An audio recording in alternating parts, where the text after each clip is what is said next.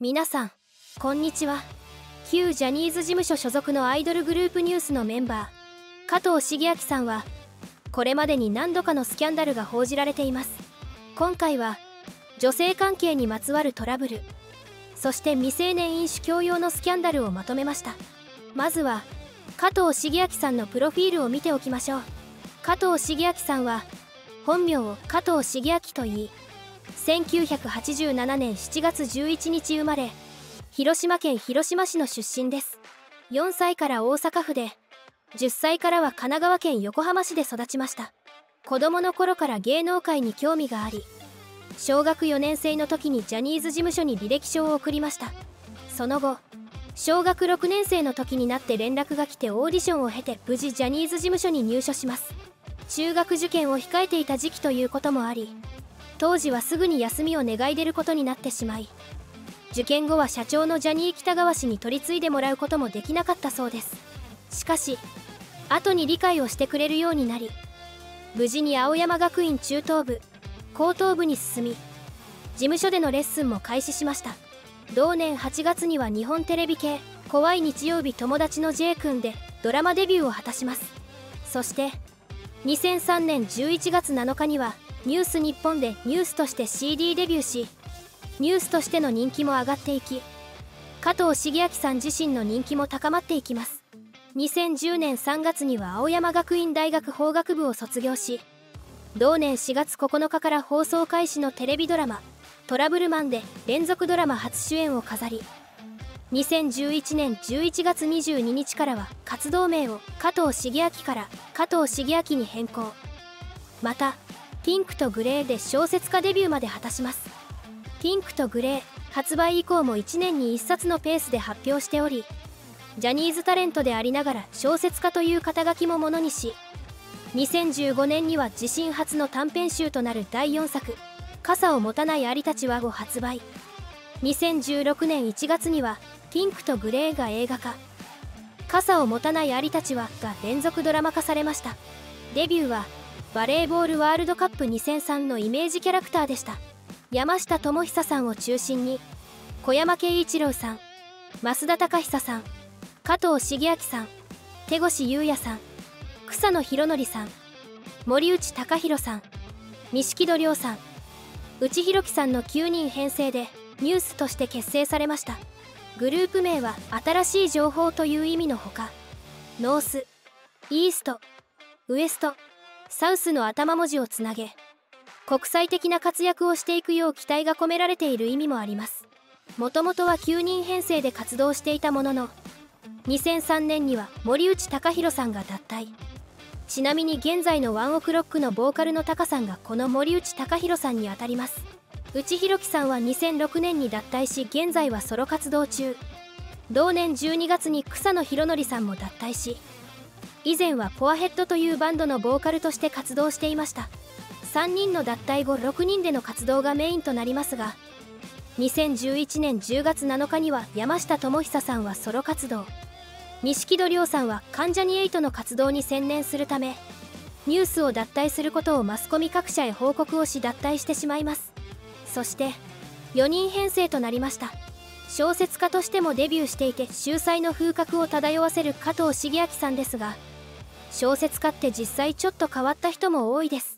加藤茂明さんの性格はどんな性格なのでしょうか？加藤茂明さんの性格をざっくり言うと真面目ナルシスト人見知りファン思いといった情報が挙げられています。この性格の特徴だけを見るととても真面目な性格に思えます。しかし過去にこんな時期もあったというのも本人が語っています。自分が黒い人間だと思っていたからパステルカラーの衣装が嫌だった。男らしい服装がしたい。スタッフに当たりが強い時期もあったしマネージャーに扱いづらいと言われた。ファンへこびることが嫌いだった。あくまで過去のことを自分で語っているので本人も今は反省しているようですがこのような時期もあったようです。またテレビ番組内では加藤茂明さんの性格の細かい部分についても語られていて家電などの取扱説明書を読まない人を軽蔑するという発言がありました。また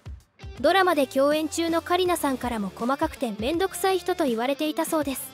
現在ではニュースに欠かせないメンバーとして活躍している加藤茂明さん。イケメンということもあり熱愛の噂などが立つこともあります。過去に噂されたのは次の3人です。まず噂になったのが小悪魔アゲハンの読者モデルさんです。この噂は実はナックルズという雑誌に女性と2人で寝ている写真が流出してしまったことから噂になりました。小悪魔アゲハというとキャバクラ嬢などがお手本にするようなギャルファッションの雑誌なので真面目なイメージの加藤茂明さんのイメージとは異なりますが噂ではジャニーズ関係の集まりがあったクラブで出会ったそうです。2人目のお相手はタレントの谷村奈々さんです。現在でもグラビアやバラエティ番組に出演するなどの芸能活動をしています。噂のきっかけとなったのが2008年12月16日に発売でした。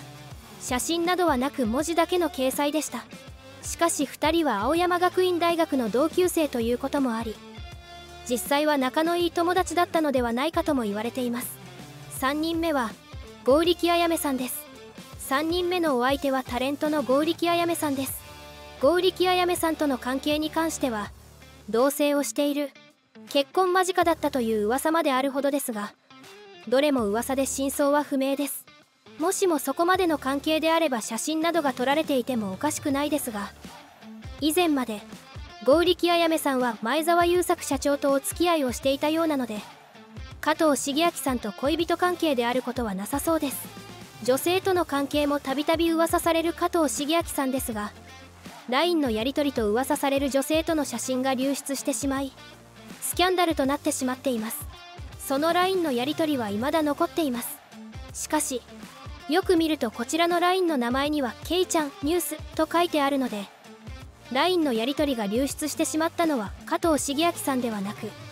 小山慶一郎さんだと思われます。ただこの LINE のやり取りと一緒に上記でも紹介した小悪魔アゲハのモデルとのベッドでの写真が掲載されたので加藤茂明さんに関しても白ということではないと思われます。当時掲載された写真を見る限りは加藤茂明さんで間違いないでしょう。しかし当時のジャニーズ事務所といえば大体のスキャンダルなどはもみ消してしまうという噂もあるほどですがこのスキャンダルに関して隠すことをしなかったということはバレてもよかったことということなのでしょうか。それともそもそももみ消せるという噂自体が単なる噂なのでしょうか？その辺りの真相は不明ですが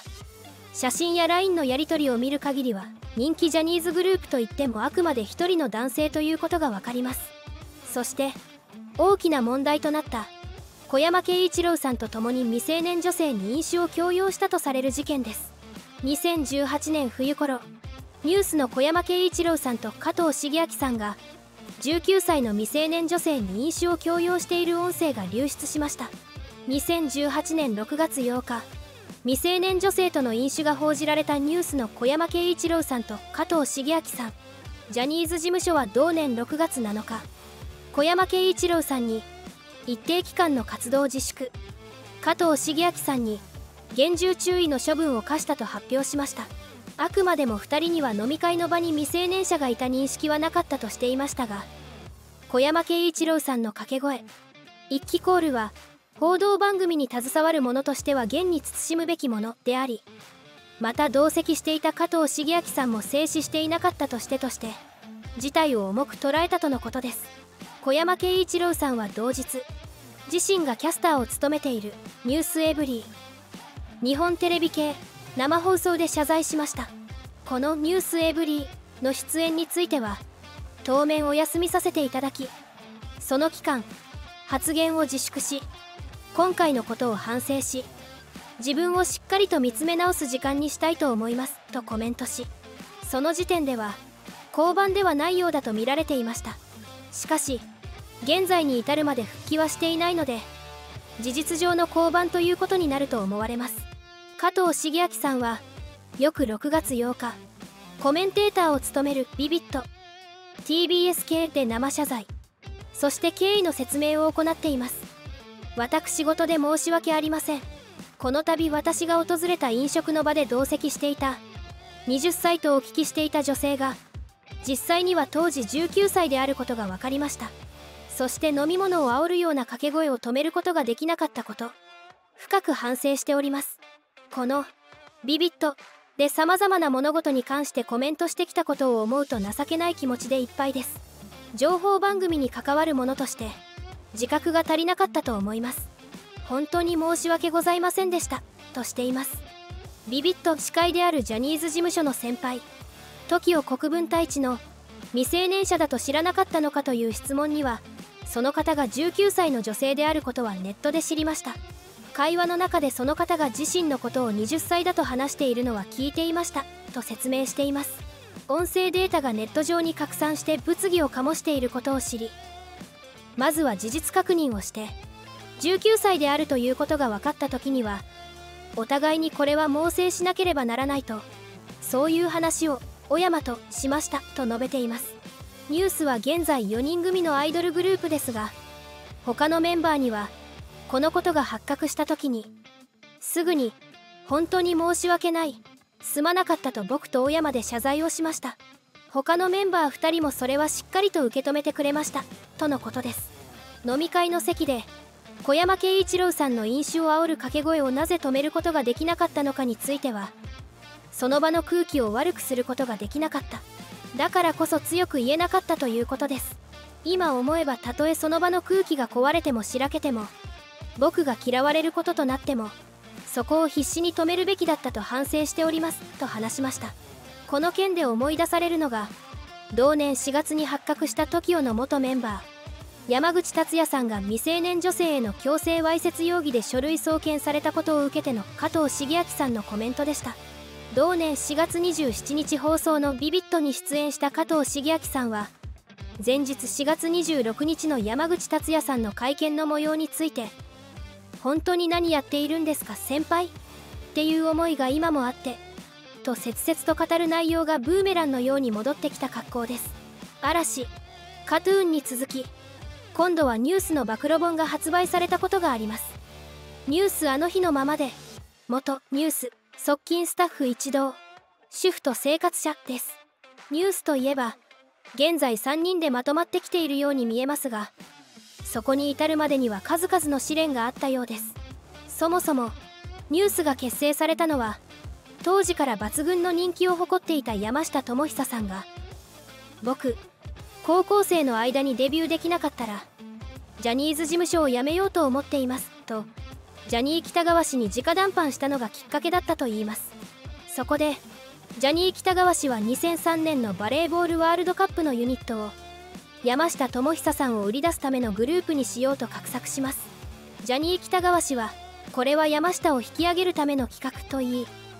あくまで残りのメンバーは山下智久さんの引き立て役として寄せ集め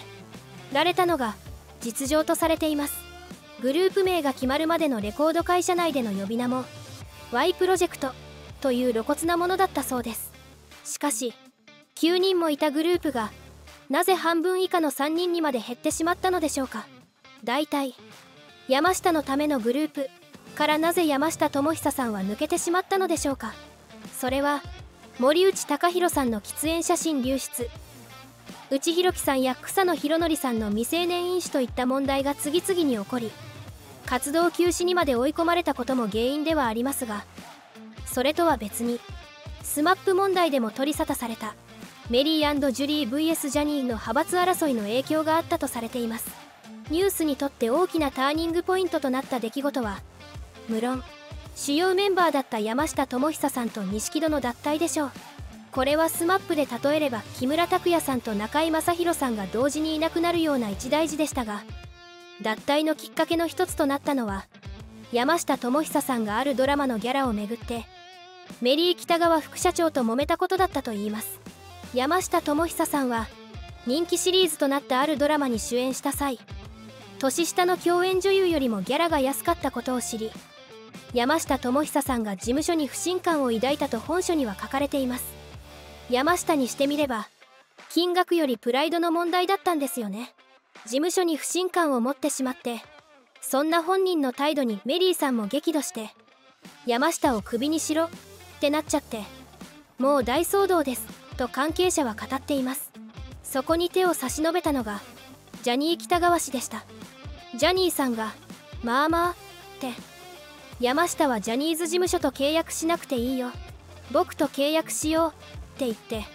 やっと収まったんです。それで担当が